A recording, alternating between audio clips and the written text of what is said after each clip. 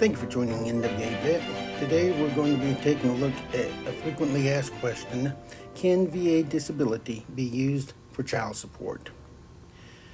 To begin, it's crucial to understand that the Department of Veteran Affairs disability benefits are intended to compensate veterans for injuries or illnesses that were incurred or aggravated during their military service. These benefits are not specifically designed to cover child support obligations. Child support on the other hand, is a legal obligation imposed upon parents to provide financial assistance for the children's well being. It's typically determined by state laws and can be influenced by various factors such as income, parenting time, and the specific needs of the child. When it comes to VA disability benefits, they're generally protected from garnishment or assignment for most debts. This means that creditors, including child support agencies, cannot typically seize or divert these benefits to satisfy debt. Now, under federal law, uh, Title 38 of the U.S. Code, Section 5301, VA disability benefits are exempt from attachment, levy, or seizure by any legal or equitable process.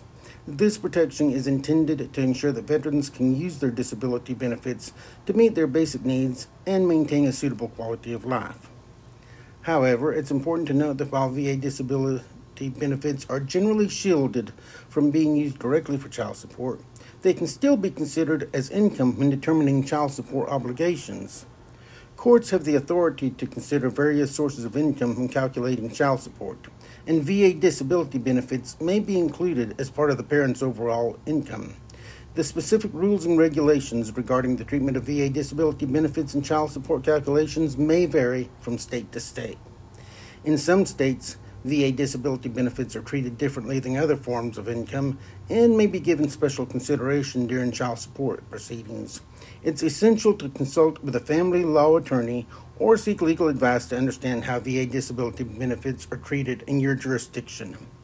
Remember, the primary focus of child support is to ensure the well being and financial support of the child.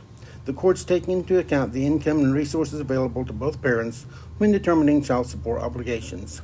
VA disability benefits, although protected from direct garnishment, can still be factored into the overall financial picture when calculating child support.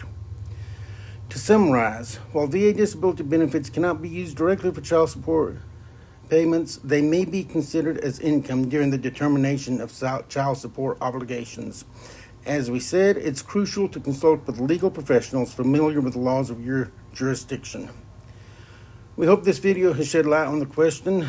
Remember, seek the guidance of a qualified attorney. That's crucial for navigating the specific laws and regulations in your state.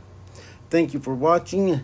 As always, we hope that this brought some good information to you. Thank you for watching NWA Vet Presents. Uh, y'all take it easy out there. Take care of each other. NWA Vet